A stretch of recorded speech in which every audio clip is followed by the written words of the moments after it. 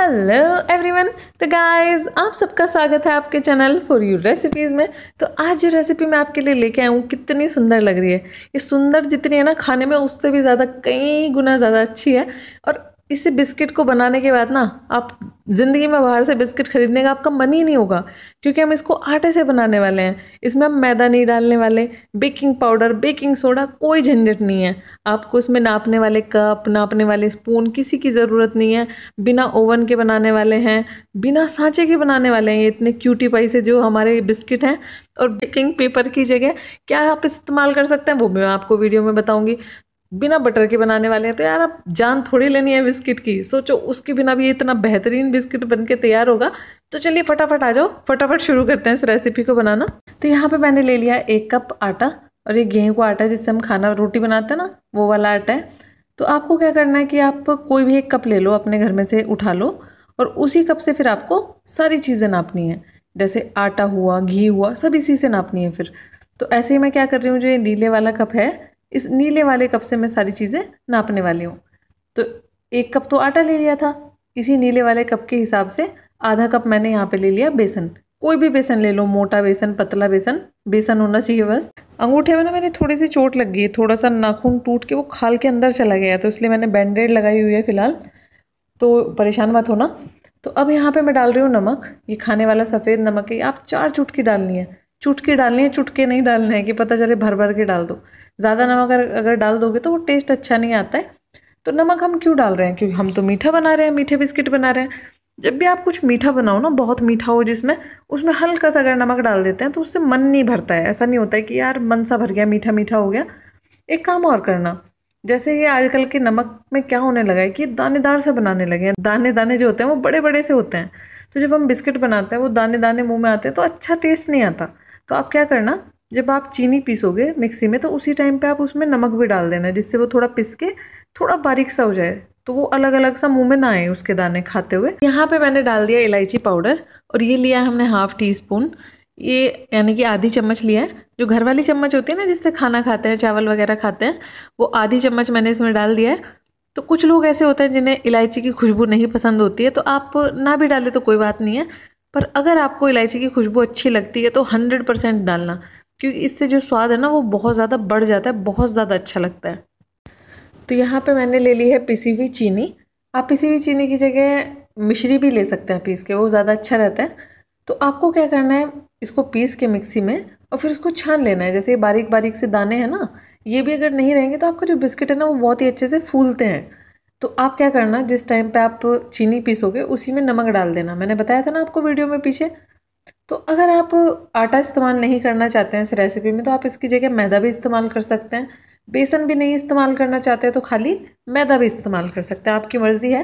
तो ये टोटल जो मैंने इसमें चीनी का पाउडर डाला है, ये डाला है हमने वन थर्ड कप यानी कि उस नीले वाले कप का तीसरा हिस्सा। तो ये बिल्कुल परफेक्ट है मीठा, इससे ज़्यादा भी ज़रूरत नहीं है और कम भी, थोड़ा सा कम रह जाता है। तो यहाँ पे मैं ले रही हूँ घी यह है देसी घी। तो ये लिया मैंने वन थर्ड कप यानी कि एक तिहाई कप वो नीले वाला जो कप था ना, उसका एक तिहाई कप आप इसकी जगह बटर भी इस्तेमाल कर सकते हैं, वनस्पति घी भी इस्तेमाल कर सकते हैं। तो आपको इस चीज़ का ध्यान रखना है इसमें कि जो आपका घी है, वो पिघला हुआ ना हो, थोड़ा सा इस तरीके से जमा हुआ हो। और अगर जैसे गर्मी में पिघल जाता है तो कोई बात नहीं, आप थोड़ी देर के लिए उसे फ्रिज में रख दें। फ्रिज में रख दोगे तो थोड़ा सा जम जाएगा। तो अब हमें क्या करना है? इस घी से ही हमें इसको एक तरह से गूथना है। एक तरह से इसका आटा सा बन जाना चाहिए। इस तरीके का हो जाना चाहिए कि जब हम इससे कुछ चीज़ बनाएँ चीज़ नहीं मतलब बिस्किट की अगर शेप दें, बिस्किट का आकार दें तो वो आराम से बन जाए। अब आप देख सकते हैं, ये सूखा सूखा सा लग रहा था तो मैंने इसमें एक टेबल स्पून घी और डाल दिया। तो ये एक टेबल स्पून जो घर की चम्मच होती है ना, जिससे हम खाना खाते हैं, चावल खाते हैं, अगर हम उसमें ऊपर तक घी भरें और उसको ऊपर से प्लेन करके लें तो वो ढाई चम्मच के बराबर होता है। और एक चीज़ ध्यान रखना, इसको गूँथने के लिए ये मत कर देना कि इसमें पानी डाल दिया या फिर दूध डाल दिया, बिल्कुल नहीं डालना है। आप देख सकते हो कितना आसान है इसको बनाना। आपको नापने की भी ज़रूरत नहीं है कुछ भी चीज़। बस सिर्फ़ एक कप लो उससे एक कप से एक कप आटा, आधा कप बेसन और उसी कप का एक तिहाई, यानी कि तीसरा हिस्सा इसमें घी डालना है। अगर आपको ज़रूरत लगी तो थोड़ा सा घी और डाल दो। अगर थोड़ा बहुत ऊपर नीचे हो गया ना घी तो कोई टेंशन की बात नहीं है। तो सबसे अच्छी चीज़ इसकी रेसिपी ये कि आपको कुछ भी चीज़ ऐसा नहीं है कि थोड़ी बहुत ऊपर नीचे हो जाएगी तो हंगामा हो जाएगा, ऐसा नहीं है। तो ये देखो, बिल्कुल आकार में आ गया ना ये तो ये बिल्कुल बन के हमारा तैयार है मिश्रण। तो अब हमें क्या करना है, ये थाली ले ली है मैंने स्टील की और इसके ऊपर लगा लिया एल्यूमिनियम फॉइल तो भाई ये प्लास्टिक का नहीं होता है, क्योंकि पिछले वाली वीडियो में कुछ लोगों ने मुझसे ये बात पूछी थी कि जो लेज की पॉलीथीन होती है ना, वो भी इस तरीके की होती है ना, चमकीली टाइप की। सिल्वर जैसी, कि वो हम वो लगा सकते हैं। क्या नहीं, वो प्लास्टिक होती है, पिघल जाएगी, कांड मत कर देना किसी दिन। ठीक है? तो आप इसकी जगह ये बटर पेपर भी लगा सकते हो, अगर आपके पास नहीं है तो एल्यूमिनियम फॉइल और ये भी नहीं है तो कोई बात नहीं है। आप लोग हमेशा परेशान रहते हैं ना यार बटर पेपर नहीं मिलता है बटर पेपर नहीं मिलता है। तो आप ये काम करना, सबसे बेस्ट चीज़ है, एक नोटबुक लेना कॉपी लेना, उसमें से इस तरीके से, बीच में से पेपर निकालना और जितना भी बटर पेपर आपको चाहिए, उस पर पूरे पे अच्छे से तेल या घी लगा लेना, या फिर मक्खन जो भी आपको लगाना है, एक चीज़ ध्यान रखना। अगर ऐसा है कि आप इसको बटर पेपर की जगह इस्तेमाल कर रहे हैं तो बिल्कुल अच्छी तरीके से इस पर घी या तेल लगाना है। वरना क्या होगा, कोई भी अगर हिस्सा ऐसा रह जाएगा ना, जिस पे घी या तेल नहीं लगा हुआ होगा और आप इसको बटर पेपर की जगह इस्तेमाल करेंगे तो उसमें आग भी लग सकती है। तो यहाँ पे देखो, जो अब अब मैं क्या कर रही हूँ, ये जो पेपर है, जितने भी हिस्से में मैंने ये घी लगाया है अगर मैं उस हिस्से को किसी चीज़ के ऊपर रखती हूँ तो देखो नीचे का जो हिस्सा है, वो किस तरीके से दिखाई दे रहा है। तो ये आपका बटर पेपर तैयार हो गया। अरे, बचपन में होता नहीं था जब सर में तेल ज़्यादा हो जाता था तो हम पेपर रगड़ देते थे सर पे? इसी तरीके का तो हो जाता था वो। इधर उधर की चीज़ें दिखनी शुरू हो जाती थी, तब बचपन में खोज की थी हमने इसकी। तो हमारा बटर पेपर तैयार है। आपको जहाँ पे भी मानो कोई भी रेसिपी हो, जैसे केक बनाना है, या कुछ भी, जिसमें भी आपको लग रहा है कि बटर पेपर की ज़रूरत है, आप वहाँ पे इसको इस्तेमाल कर सकते हैं। तो अब मैंने क्या किया, थाली में थोड़ा सा लगा लिया घी। तो अब हमें क्या करना है कि बिस्किट बनाने हैं, पर हम ये चाहते हैं कि सबका जो आकार है, जो शेप है, वो एक जैसा हो। तो उसके लिए मैंने क्या किया, यहाँ पे टेबल स्पून ले लिया गोल सी। इसका फ़ायदा क्या होता है? एक तो इसमें गोल बनाने की ज़रूरत नहीं होती है, और दूसरा सबसे बड़ा फ़ायदा होता है कि ऐसा नहीं होता कि कोई मोटा, कोई छोटा सब अलग अलग जैसे बने हैं, सब एक जैसे आकार के बनते हैं। तो हाथों से मैंने शेप दी, चाकू का जो पीछे का हिस्सा होता है, वो थोड़ा सा चौड़ा होता है ना थोड़ा सा मोटा होता है उससे इस तरीके से डिज़ाइन बना लेंगे। जब डिज़ाइन बनाते हैं ना, बहुत मज़ा आता है। इसको ज़रूर ट्राई करना। अगर आपको ये लग रहा है कि नहीं, हमें तो ये जो किनारे हैं, इसको हटाना है थोड़ा सा शार्प करना है इसको तो हाथ में रख के मत करना इसको। जैसे मैं हाथ में रख के दिखा रही हूँ, आप क्या करना, कटोरी लेना, कटोरी के पीछे रख के इसको आकार देना, फिर उसको काट लेना। ध्यान रखना इस चीज़ को, क्योंकि मेरा जो चाकू है वो तेज़ नहीं है तो उससे हाथ नहीं कटेगा। आप क्या करोगे, आप कांड करा लोगे, आप अपना हाथ वाथ कटवा लोगे। तो अब एक चीज़ और होती है। जब हम बिस्किट को अगर हाथों पे रख के बना रहे हैं तो उसको थोड़ा सा छुड़ाने में दिक्कत होती है है ना? थोड़ा सा टेढ़ा मेढ़ा हो जाता है तो देखो मैंने हाथ को क्या किया, बिल्कुल टाइट कर लिया, ये ऐसे करके, और हल्का सा ऐसे चाकू ऐसे कर लिया। आपको ये काम भी किस पे करना है? कटोरी पे, बिल्कुल भी हाथों पे नहीं करना है, वरना आपके हाथ कट सकते हैं इस चीज़ का ध्यान रखना। मुझे प्रैक्टिस है, इसलिए मैं कर रही हूँ। तो मैंने क्या किया कि इसको जल्दी बनाने के लिए बिस्किट को, आप क्या करो, टेबल स्पून में इस तरीके से शेप बना बना के रख लो। और फिर अगर आप उसको बिस्किट बनाओगे तो वो बहुत जल्दी बन जाता है, आपको झंझट नहीं होता है। आप चाहें तो एक काम कर सकते हैं, आप गोल गोल भी बना सकते हैं, उसमें तो कुछ भी टाइम नहीं लगने वाला है तो आपकी मर्ज़ी है, पर ये ज़्यादा सुंदर लगते हैं देखने में। तो यहाँ पे मैंने ले लिए कढ़ाई और इसमें ये रिंग रखेंगे। तो वैसे इसमें जो रेसिपी है, इसको बनाने के लिए कढ़ाई के अंदर नमक डाला जाता है। पर आप में से काफ़ी लोग कहते हैं, यार कभी कभी नमक की खुशबू आती है उसमें रेसिपी में या फिर आप नमक, हमारा ख़राब चला जाता है, हम नहीं चाहते हैं नमक इस्तेमाल करें। तो कोई बात नहीं, आपके लिए मैं ऐसी रेसिपी लेके आई हूँ। आपको नमक की भी ज़रूरत नहीं पड़ेगी इसके अंदर। अगर आपके पास रिंग नहीं है इसमें रखने के लिए तो आप कटोरी इस्तेमाल कर सकते हैं। इस तरीके की कोई प्ले प्लेट ढक देंगे इसके ऊपर। और अगर आपको लग रहा है कि वो थोड़ा सा इधर उधर से खुल रही है प्लेट तो आप उसके ऊपर कुछ भारी वज़न भी रख सकते हैं। अब 10 मिनट के लिए मीडियम आँच पे, यानी कि मध्यम आँच पे हमें करना है इसको गर्म।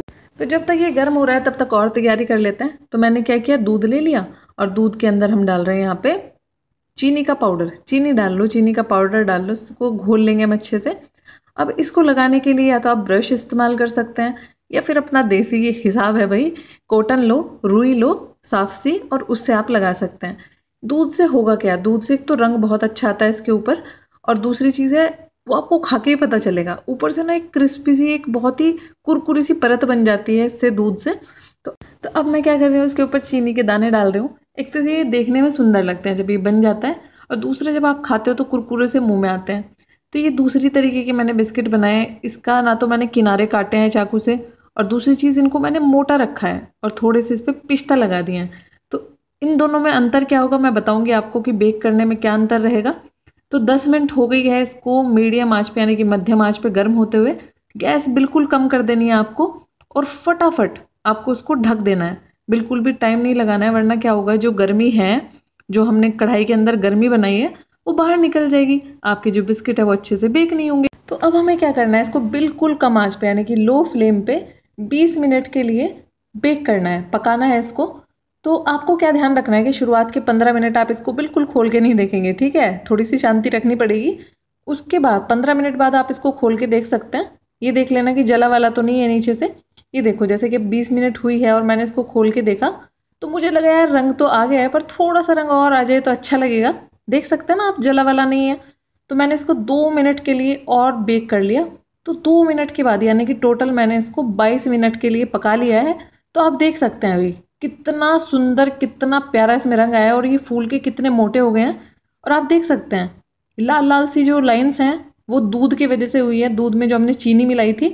तो अब मैं क्या कर रही हूँ, जो पतले वाले बिस्किट हैं, उसको हम बना रहे हैं। क्योंकि क्या होता है कि आप में से काफ़ी लोग कहते हैं कि यार, हमारे तो बिस्किट जल गए, आपने तो इतना टाइम बताया था। जो पतले बिस्किट होते हैं तो उनमें टाइम भी थोड़ा कम लगता है। जैसे ये बिस्किट मैंने बनाए इनको पकने में हमें लग गया अट्ठारह मिनट लग गई है। तो ऐसा भी हो सकता है आपकी थोड़ा ज़्यादा या थोड़ा कम टाइम आपको लगे, क्योंकि आपकी गैस कितनी है, उसके ऊपर डिपेंड करता है ना। तो अब ये देखो, इसके ऊपर कितना अच्छा सा प्यारा सा कलर आया है, और ये देखो, बिल्कुल ऐसे हैं मक्खन जैसे मतलब मुँह में घुल जाने वाले। तो अब मैं आपको दिखा देती हूँ, ये मोटू से बिस्किट, आप देख सकते हो ना कितने मोटे से बने हैं, अच्छे से मतलब थिक से हैं। जैसे बाज़ार के होते हैं ना, उससे तो कई गुना ज़्यादा टेस्टी है और तोड़ के आपको समझ में आ रहा होगा कि बिल्कुल कच्चे वच्चे नहीं है, बिल्कुल परफेक्ट बने हैं। और जो हमने दूध लगाया ना इसके ऊपर, उसकी वजह से इसका रंग तो अच्छा हुआ ही है, उसकी वजह से इसका टेस्ट बहुत बढ़िया है। तो इस रेसिपी को ट्राई ज़रूर करना, अगर वीडियो आपको पसंद आती है तो वीडियो को लाइक करना, नहीं पसंद आती है कोई बात नहीं, आप वीडियो को डिसलाइक भी कर सकते हैं। पर कमेंट करके ज़रूर बताना कि क्या अच्छा नहीं लगा वीडियो में, क्या अच्छा लगा आपको वीडियो में। तो इन्जॉय कीजिए बहुत ही yummy recipe till then take care enjoy and bye अगर आप मेरी और भी ऐसी वीडियोस देखना चाहते हैं तो उसके लिए आपको क्या करना है, वो भी मैं बता देती हूँ। वीडियो के नीचे इस लाल रंग के सब्सक्राइब बटन को दबाना है और फिर इस घंटी को दबाना ये बिल्कुल फ्री है। इससे क्या होगा, जब भी मैं कोई नई वीडियो डालूँगी तो आपके पास तुरंत एक मैसेज आ जाएगा। अगर ये सब्सक्राइब का बटन लाल नहीं आ रहा है तो इसका मतलब है कि आप पहले ही बटन दबा के सब्सक्राइब कर चुके हैं। दोबारा बटन दबाने की ज़रूरत नहीं है।